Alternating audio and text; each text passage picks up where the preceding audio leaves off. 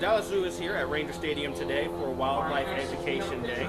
It's our chance to come out here and reach lots of kids all over the DFW area and tell them about wildlife and how important they are. Today we have a number of animals. We brought animals from all over the world.